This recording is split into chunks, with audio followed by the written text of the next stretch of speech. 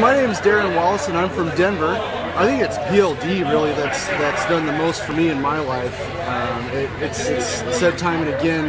It's where the rubber meets the road. It's it's taking these things we've learned inside, the, the principles, the uh, the pillars really of of um, the pillars, the foundations of, of the way I really truly know in my heart is the way to live, and putting that in practice.